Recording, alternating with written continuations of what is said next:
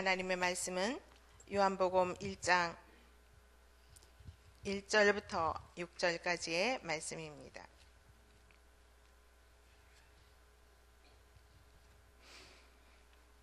찾으셨으면 다 같이 한 목소리로 읽겠습니다.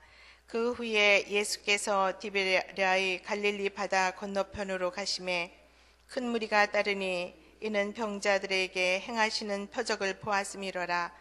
예수께서 산에 오르사 제자들과 함께 거기에 앉으시니 마침 유대인의 명절인 유월절이 가까운지라 예수께서 눈을 들어 큰 무리가 자기에게로 오는 것을 보시고 빌립에게 이르시되 우리가 어디서 떡을 사서 이 사람들을 먹이겠느냐 하시니 이렇게 말씀하심은 친히 어떻게 하실지를 아시고 빌립을 시험하고자 하심이라.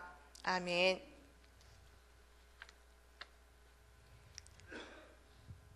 요한복음 6장에는 오병이어의 기적이 나옵니다.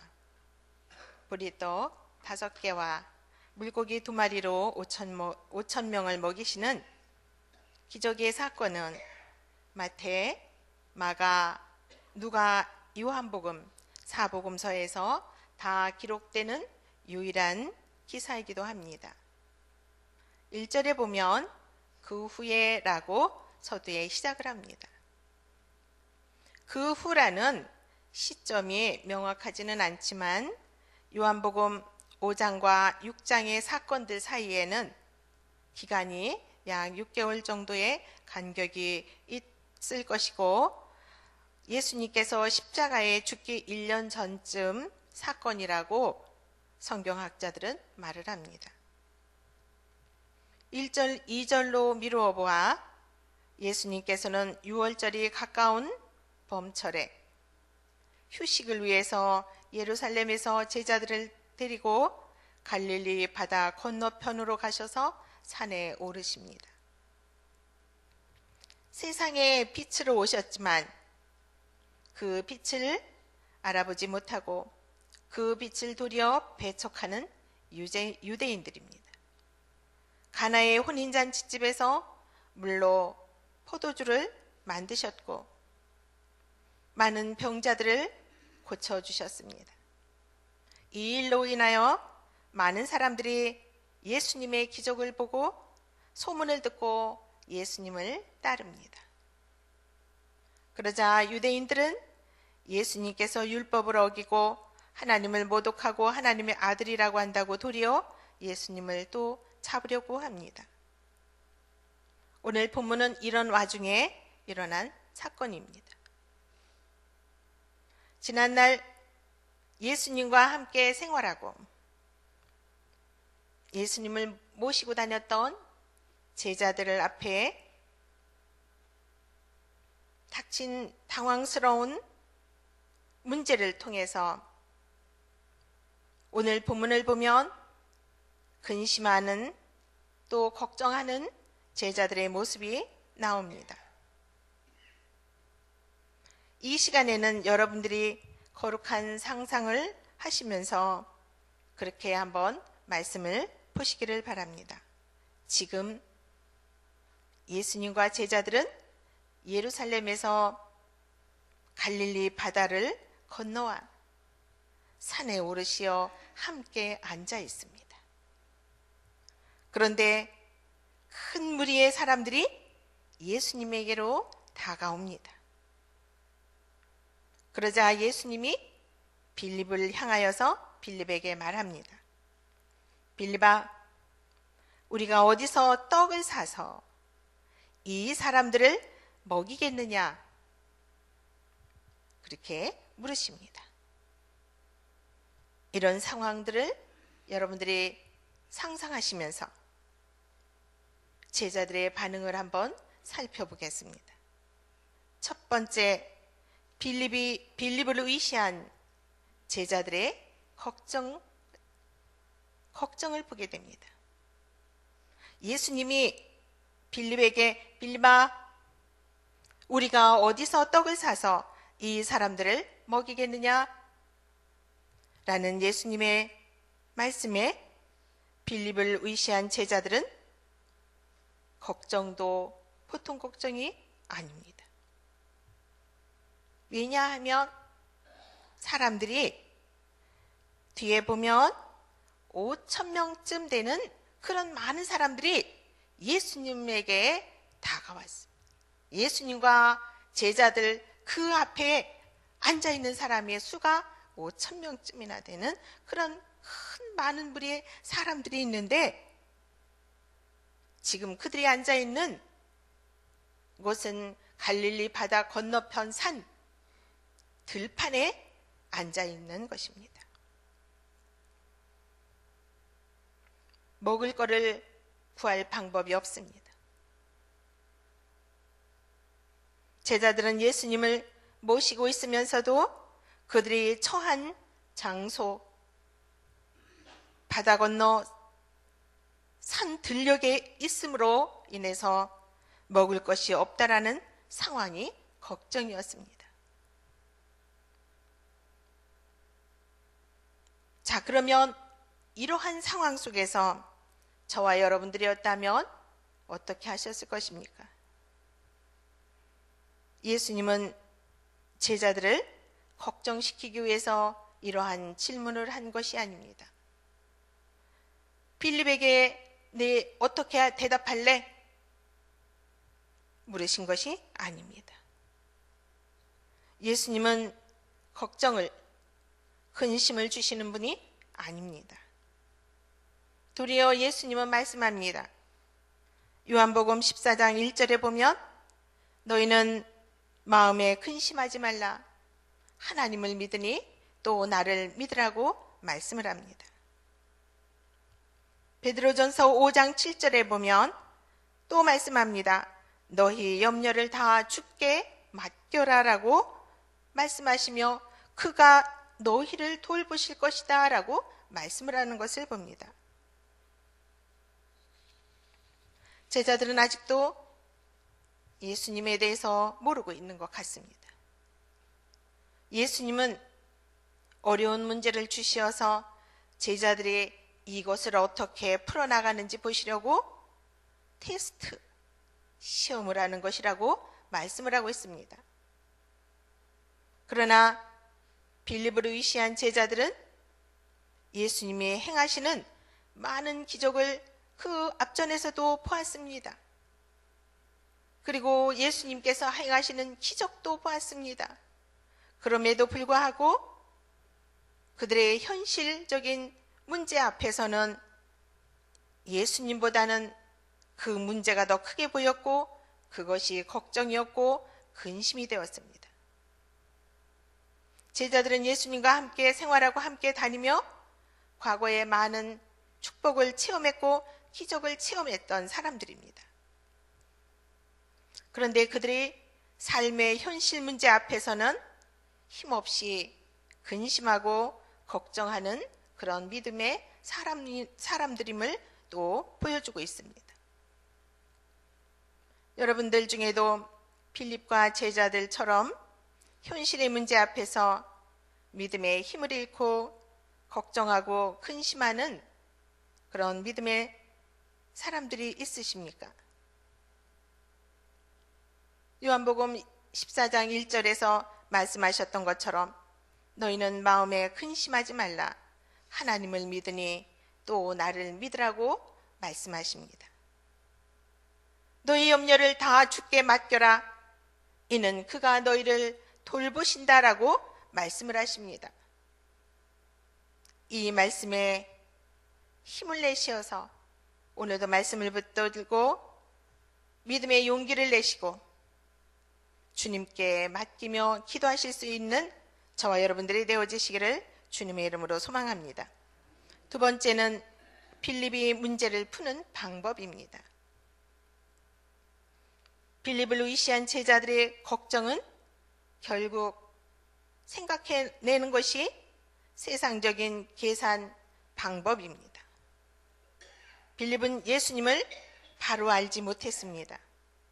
예수님을 믿는 믿음이 그렇게 없으니 자기가 늘상 지금까지 해왔던 대로 지금까지 살면서 해왔던 방법대로 세상적으로 그리고 이성적으로 그 문제를 풀려고 합니다. 빌립이 문제를 푸는 방법을 살펴보며 빌립은 참 머리가 좋은 사람인 것 같습니다. 7절에 보면 빌립은 예수님께 말합니다. 예수님, 각 사람에게 조금씩만 나누어 줘도 200데나리온의 떡으로도 부족할 것 같습니다. 라고 말을 합니다. 이 200데나리온은 은 200냥을 뜻한다고 그럽니다. 1데나리온이 노동자 하루 품삯이라고 합니다. 그러니 하루 노동자 하루 품삯을 5만 원씩만 잡아도 200 데나리온은 1000만 원 가까이 되는 돈이 필요한 돈입니다. 물론 그 돈도 없을 뿐더러 돈이 있어도 떡을 살 수 있는 상황이 못 됩니다. 그러니 빌립이 문제를 푸는 방법은 해결될 수 있는 방법이 아닙니다. 빌립이 사용하려던 이성적인 방법, 수단, 그것은 걱정하는 믿음은 오히려 믿음이 없는 모습을 예수님께 보여줄 뿐이었습니다. 걱정, 근심, 문제가 생기면 걱정하는 믿음으로 예수님의 말씀보다는 오히려 더 세상적인 방법과 수단이 먼저 앞서는 그런 사람의 모습으로 예수님한테 보여졌습니다. 예수님께서는 문제를 가져와 적극적인 믿음으로 문제를 풀어나가기를 원하셨을는지도 모릅니다. 그래서 예수님은 어떻게 하시려는지 그것을 보시기 위해서 시험하셨다고 말씀을 합니다. 내 머리로 내 이성적인 방법으로 성공적인 삶을 사시나요? 이성적인 방법으로 세상적인 방법으로 육신의 문제도 해결하지 못함을 우리는 압니다. 하물며 영생의 문제를 어떻게 이성적인 것으로 세상적인 방법으로 풀 수 있을까요? 그것은 주님 앞에 나오는 것 밖에는 방법이 없습니다. 인생의 문제, 영혼의 문제, 이것은 주님 앞에 나와서 주님으로부터 푸는 방법밖에 없다라는 말입니다. 세 번째는 예수님은 우리의 구원자이시고 문제의 해결자 되심을 말씀합니다. 우리가 우리의 인생의 문제, 우리가 우리의 영혼의 문제를 영생의 문제를 해결할 수 없다라고 한다면 우리의 구원자 되시고 문제의 해결자 되시는 예수님이 있습니다. 요한복음 전체의 주제는 생명의 떡이신 예수 그리스도에 대해서 말씀을 하고 있습니다. 요한복음을 믿음의 복음이다라는 말을 합니다. 믿음의 복음서라는 말을 합니다. 왜냐하면 믿음이라는 그런 말 단어가 100여 회 정도 그렇게 나오는 복음서이기 때문에 요한복음을 믿음의 복음서다라고도 그렇게 말을 합니다. 이것은 믿음이라는 말이 참 하나님과 예수 그리스도를 인격적으로 영접하는 것이 믿음이다라는 그것뿐만이 아니라 하나님께 이끌려 행동하는 믿음을 가르치고 있다라는 뜻이기도 합니다. 5절을 우리 다 함께 함께 한번 천천히 잘 한번 생각하시고 또 한번 같이 보면서 읽어보도록 하겠습니다. 5절입니다. 예수께서 눈을 들어 큰 무리가 자기에게로 오는 것을 보시고 빌립에게 이르시되 우리가 어디서 떡을 사서 이 사람들을 먹이겠느냐 하시니 아멘. 예수님이 빌립에게 질문한 물어본 말입니다. 빌립아, 우리가 어디서 떡을 사서 이 사람들을 먹이겠느냐? 어디서? 어디서? 이렇게 예수님이 물으신 것은 믿음의 대답을 듣기 위해서였습니다. 더 나아가서 앞으로 우리가 보게 될 35절을 보게 되면 예수님은 말씀합니다. 내가 생명의 떡이다라고 말씀을 합니다. 35절에 보면 나는 생명의 떡이니 라고 예수님께서 말씀하시는 것을 봅니다. 결국 문제의 해결자는 예수님이심을 말씀을 하시는 것이죠. 오직 예수님을 통해서만 육신의 삶의 문제, 영생의 문제를 해결받을 수 있음을 말씀하고 있는 것입니다. 여러분은 어떤 문제를 가지고 계십니까? 어떤 문제 때문에 근심하십니까? 어떤 문제로 인하여 염려가 되십니까? 근심이 없는 사람은 없습니다. 걱정이 없는 사람은 아무도 없습니다. 이 땅에 사는 사람은 무엇인가 근심이 있고 염려가 있고 그렇게 그런 가운데서 삽니다. 그런데 주님은 말씀하셨습니다. 내가 생명의 떡이다. 어디서 떡을 사야 되니? 내가 생명의 떡인데 주님은 말씀하십니다. 너희는 근심하지 말라. 하나님을 믿으니 또 나를 믿으라고 말씀하십니다. 빌립을 시험하여 예수님이 빌립아 우리가 어디서 떡을 사서 이 사람들을 먹일 수 있겠느냐 물으신 것처럼 저와 여러분들에게도 지금 물으시는 것이 있습니다. 건강의 문제, 물질의 문제, 직장의 문제, 자녀의 문제, 가족 간의 문제, 앞으로의 불확실한 미래에 대한 문제, 어디서 어떻게 문제를 풀려고 하십니까? 이 새벽에 기도의 자리, 예배의 자리, 말씀에 나오신 성도 여러분,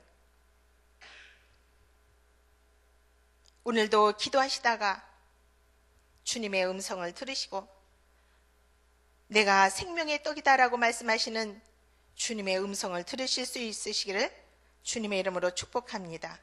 주님으로부터 문제 해결의 방법을 알고 그 문제 해결을 주님을 통해서 해결받는 은혜와 축복을 누리시는 저와 여러분들이 되어지시기를 주님의 이름으로 소망합니다. 기도하겠습니다. 사랑과 구원의 주님, 오늘도 하나님이 우리 아버지가 되어주심을 감사드립니다. 주님이 우리의 구원자가 되어주심을 감사드립니다. 오늘도 주님의 말씀 듣고 그 말씀을 삶에서 실천하며 살아가는 믿음의 사람들이 되게 하여 주옵소서 거룩하신 예수 그리스도 이름으로 간절히 기도하옵나이다. 아멘. 공동 기도문 7번 말씀 3운동 온 세계 선교입니다. 성경의 중심 가르침 말씀 3운동 온 세계 선교 비전은 주님이 말씀 3 공동체 성락 성결교회 주신 명령임을 믿습니다. 이 소명을 사명으로 받아 순명하여 이루도록 우리를 이끌어 주옵소서.